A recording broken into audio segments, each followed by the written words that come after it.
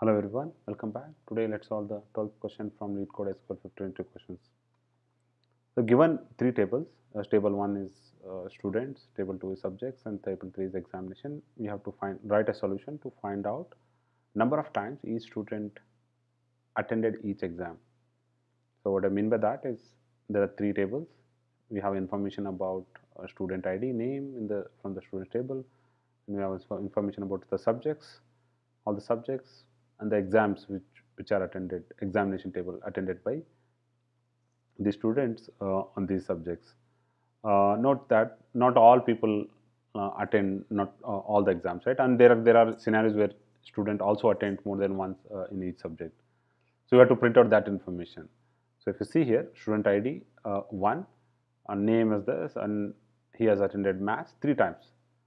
He has attended math 3 times. If you see this one time, so, or maybe I'll go with top student ID 1 which is this one time, two times and third time. So he has attended three times math subject. And there are scenarios where student might have not attended the exams. You don't see this record in the examination table. Examination table. Two, Bob physics. You don't see for Bob. Two is programming and math. You don't see. We need to print out. Then we basically need to show in the console output but with a zero value. And we also there there, there is a uh, user Alex. Uh, he has not attended any of the exams. You don't find six here in the examination. So what they're asking is they're asking us to uh, print out uh, the result table should contain all students and all subjects. Uh, problem is you will not find all students and all subjects in the examination because not all student attended. There will be obviously there will be in when you, when you look at an university level, which has let's say 100 students, and there are 10 subjects. Not all 100 students attend all 10 subjects, right? There will be some some student obviously they will miss out the exams. So, but what they are asking is is to print out all students, all subjects. So, if a student has attended more than once or once, whatever it is, you should give the count. If he has attended once, you have to give the count. If he has attended more than once, you have to give that corresponding count. If he has not attended any of the subject, you have to give as a zero. So that is how they are asking us to print out. So that's how they are asking.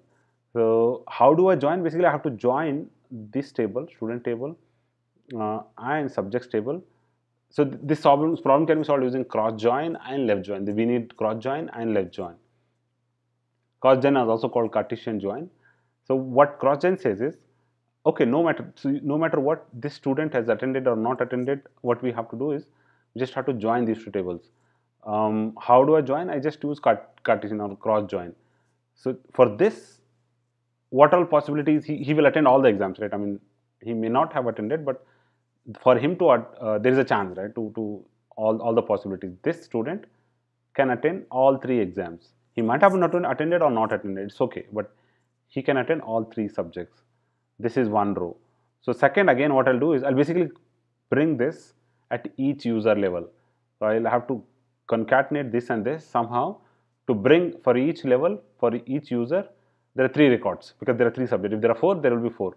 For this user he can have all three exams. For this user he can have all three exams and so on and so forth.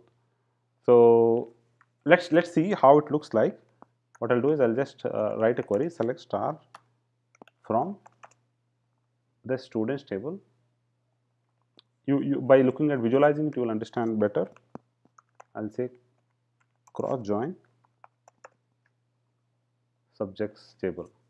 So if you visualize and see what uh, it, what I'm trying to say here is I'll get the combination all, all possibilities.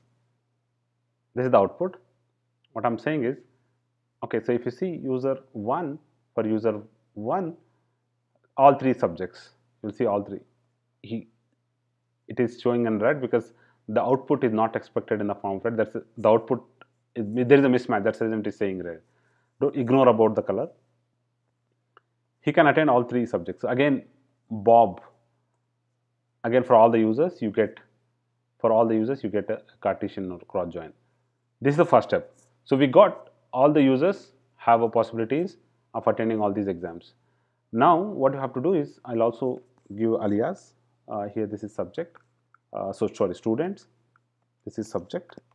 Be uh, and I, I got one table. This imagine this is one table. This is one table. Imagine these two output of this is one table. That is what we need. We need all the all the students and all the subjects. We have this. We have the all the students and all the subjects.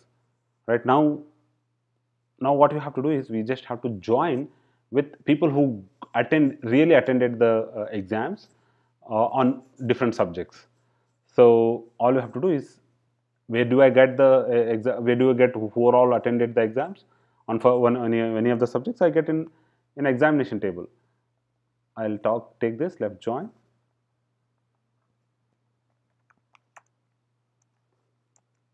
HSE on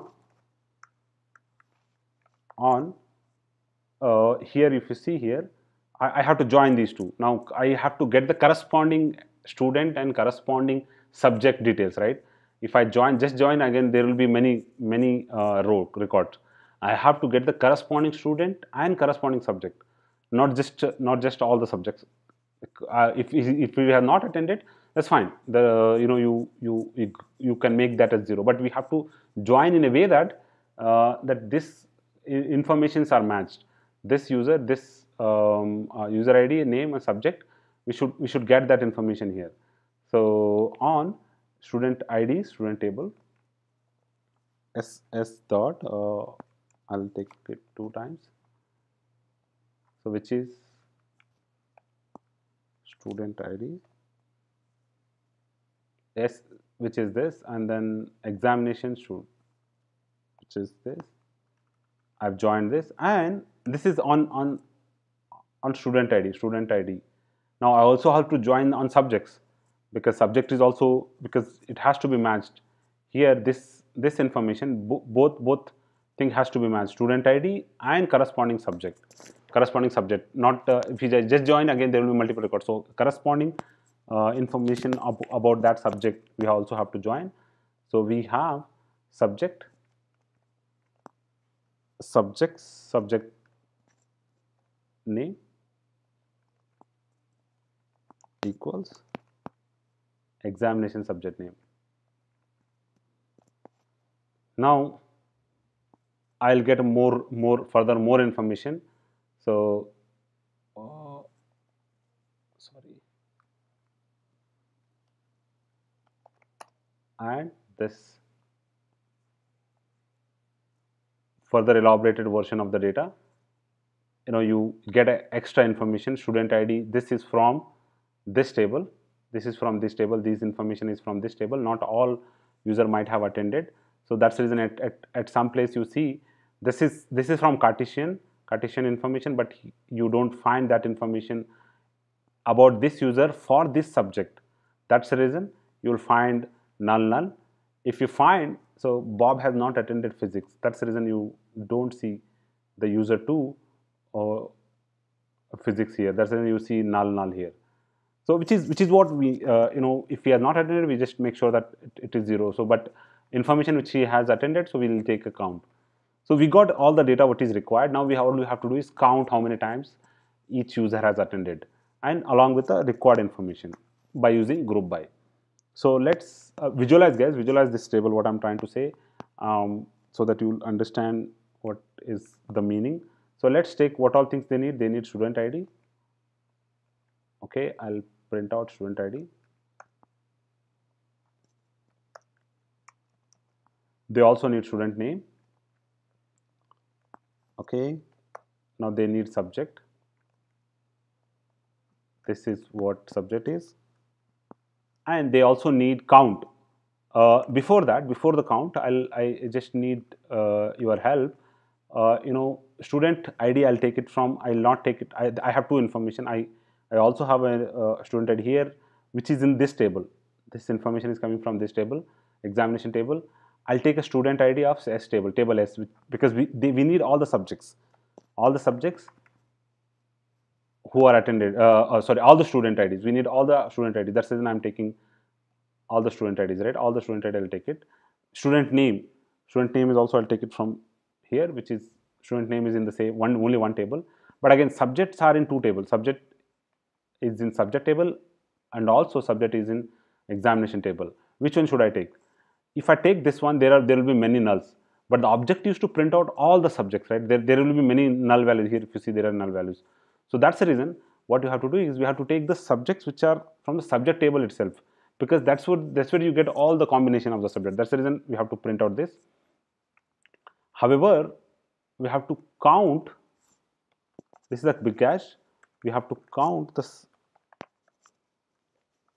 Count also important here. If you see how many times each student has occurred the examination right? Attendees as attendees. Now should i should i use this or should i use this? This is where the confusion is. So i we, have to use this because that's where the student eh, has attended. This is for printing all the possible consequences he might have attended he might not attend but actually who you have to find out the count who have attended the exams right that's where i get the information about that student who has attended from here so that's the reason we have to take from E examination E dot subject. This is very very important. This is this is where a lot of students get confused. You know, should I take this subject or this subject? We have to take because we get all the information about the people who got attended who attended the exams. Here we get all the possibility subjects. Here we get people who get who actually have attended the exams as this. Now group by. Group by.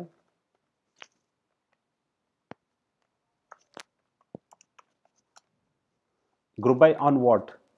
Group by on student name on all three. Let's see I should not group by on this e dot subject. Let me know what you if you group by and what is the output you get it. I should group by on only the subjects which are for all the all the possible combinations. All right? I got the results. Maths three times. I also got physics as 0, fair enough, fair enough. But the order is not in the, in the form which they are expecting. They are expecting us to maths to have first and also I think ID. So they have, I somewhere mentioned the order by, result also should be order by student ID and subject name. So I'll just mention order by,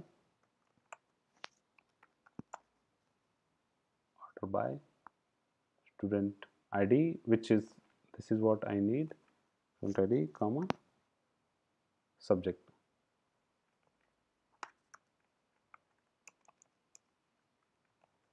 That's all. I think we are almost there and yes it is got accepted. Let's submit. Test got passed. Let's submit. All right it got accepted. So it is very simple guys. If you visualize let me know what you think. What what if i change this to what if i change this to subject? Explain me in a better way uh, than what you what what i explained. If i change this what if i change? Because i have option option to change as well right what if i change here as well? Uh, uh, you know here I, I, can i can have e dot e dot. What what what will what what is that i get? What is the error you see in the in the output expected output? Uh, let me know in the comments. What if I what if I also take e dot subject name? There are possibilities right? I I've already explained this but let me know in detail. Uh, visualize this.